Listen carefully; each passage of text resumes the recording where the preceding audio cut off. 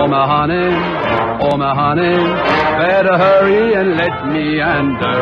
And you go in, and you go in to the leader man, rag and meet the man. Oh my honey, oh my honey, let me take you to Alexander's grand stand right you coming along, come on in here, come on in here, Alexander's ragtime band. Come on in here, come on in here, it's the best band in the land. They can play a bugle call like you've never heard before, so natural that you want to go to war. That's just the bestest band what I'm Honey lamb, come on along, come on along, let me take you by the hand. Up to the man, up to the man, who's the leader of the band. And if you care to hear the Swanee River played in right time, come on and hear, come on and hear Alexander's ragtime band. Irving Berlin, Alexander's ragtime band. Do you know that it was all the way back in 1911 that Irving Berlin wrote that song? And there hasn't been a year since then that he hasn't come up with at least one hit, and usually more than one. Not the kind that are popular for one season. Oh no. No, the song he writes go on and on, just like their creator goes on and on writing new successes. Do you remember What'll I Do?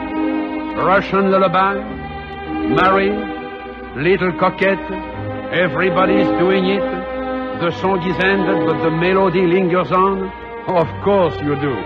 And as the years have gone by, Irving Berlin has continued to change musical styles with Cheek to Cheek, the Piccolino, and the great hits from his Second World War show, This is the Army. And then, right after the war, another great musical hit, Annie Get Your Gun. And still another one, Miss Liberty. Ha ha!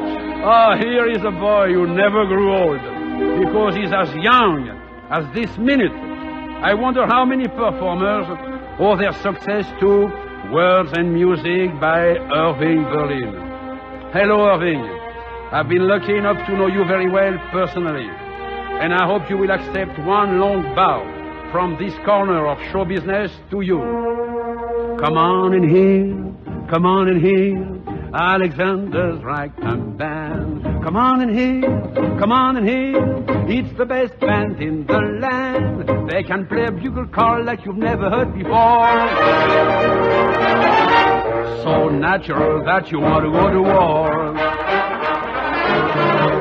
That's just the best and what I'm Honeyland, come on along, come on along, let me take you by the hand. Up to the man, up to the man, who's the leader of the band.